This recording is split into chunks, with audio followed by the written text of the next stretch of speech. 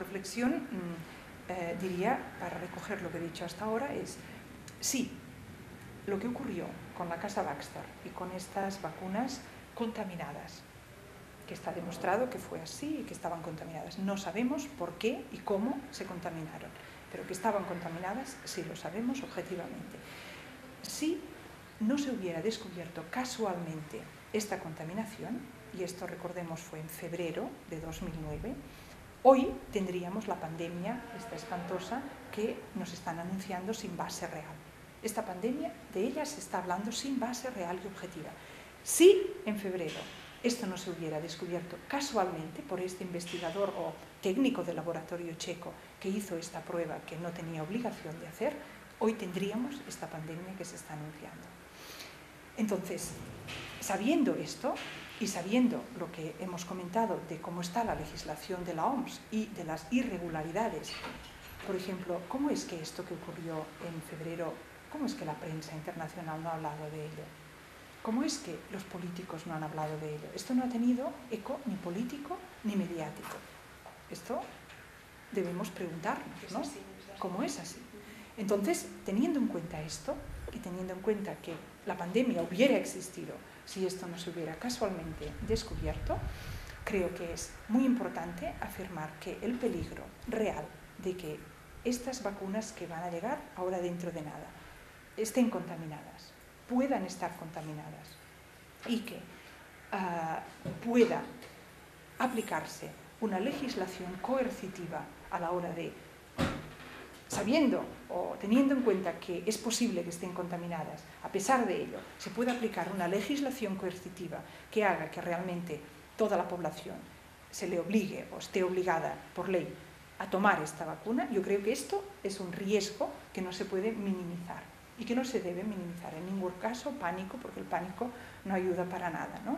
al contrario. Pero una cosa es no promover, ni tener, ni expresar pánico, y otra es, bueno, pues dejar de pasar o de compartir una información o una reflexión, ahora en este caso, que pues puede ser importante porque estamos aún a tiempo de, de reaccionar y por eso creo que esta iniciativa mm, pues es muy importante. ¿no?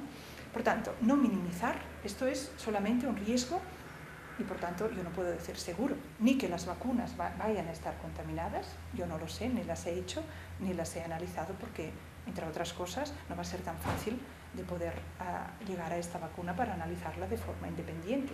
Si es posible, pues ya uh, intentaremos hacerlo o, o, ayudar a que se haga, pero esto yo no sé de nadie lo haya podido hacer. ¿Qué pasa en caso que ahora empiece a morir más gente o que, bueno, esto que se ha anunciado, no que va a venir una segunda ola, va a haber una mutación. Esto también es importante, muy importante saber que hace 70 años que el virus de la gripe A no muta. Entonces, ¿cómo es que se está anunciando una mutación este año si este virus no se conoce que haya mutado en este periodo corto de tiempo durante pues, todos estos, en un periodo de 70 años. Es decir, lo que no ha habido en 70 años es una gripe que venga con dos olas, con el virus diferente. Entonces esto vuelve a ser una irregularidad. Pero pongamos el caso que ahora empiece a morir mucha gente a causa de la gripe o con síntomas compatibles de gripe, entonces aún será más importante resistir esta vacunación y esto por dos motivos. Primero, porque si este virus empieza a dar una mortalidad aumentada es que no es el mismo. Es decir, habrá mutado, aunque esto sea pues algo que no concuerda con los datos que tenemos hasta ahora. Si ha mutado, la vacuna ya no sirve. La vacuna que se está fabricando ahora, porque esta es la excusa de fabricar cada año una vacuna de la gripe distinta, es que como hay mutaciones, se tiene que hacer una vacuna adaptada a la mutación. Por tanto, si empieza, si no muere una mm, proporción importante de la población, no vacunarse porque, como digo, el riesgo es superior y el riesgo puede ser muy alto, superior al beneficio. Si empieza a haber mortalidad alta por esta gripe o por síntomas compatibles, entonces esta sorpresa solamente se podría deber a dos causas. La primera, que el virus ha mutado, con lo cual la gripe ya no sirve, o segunda, que es otro virus o otros virus, con lo cual la vacuna tampoco sirve e incluso podría ser la misma vacuna el vector de transmisión de estos nuevos virus, por lo que ocurrió con la casa Baxter en febrero. Por tanto, la reflexión yo la dejo hasta aquí y ahora ya acabo con una propuesta. Y la propuesta es muy clara. Por una parte es bueno, pues mantener la calma, que esto es fundamental, mantener la calma, tomar las precauciones habituales eh, para pues, no contagiarse, las de sentido común, y no vacunarse. No vacunarse este año porque existen todas estas circunstancias. Esta es mi recomendación, pero además es la recomendación de muchas personas, pues de, de sen, decimos en catalán, de, De sentido común. de sentido común. Esto, muchas personas pues están ya hablando en este sentido, muchos médicos, hay una asociación entera, eh, muchos colegios de enfermeras, etc. Esta es la primera parte. Pero luego viene la segunda parte, que es la que quizás no hemos oído tanto pues, en nuestro entorno. Y es, bueno, pues que yo desde ahora esta plataforma, como he dicho, desde la escrita, y ahora os diré dónde creo que voy a colgar, ¿lo puedo decir ahora? Sí. porque yo he empezado esta semana pasada en Cataluña una inici- iniciativa que se llama cataluñareligió.cat y esto es una página web que aún no salen las fotos porque está muy reciente, pero ahí me han pedido que bueno, colabore un poco y por tanto ahí voy a colgar esta semana el link, el enlace a el documento del cual estoy hablando. Este documento os lo voy a dar también y por tanto yo creo que será accesible pues aparte de esta gente. Pero yo hago un llamamiento desde este documento y ahora desde esta plataforma también visual, un llamamiento a activar con carácter urgente todos los recursos de ciudad- ciudadanía civil y recursos legales para evitar dos cosas en nuestro país. La primera, que esta vacuna se pueda obligar a nadie en este país a recibir una vacuna que no desea recibir.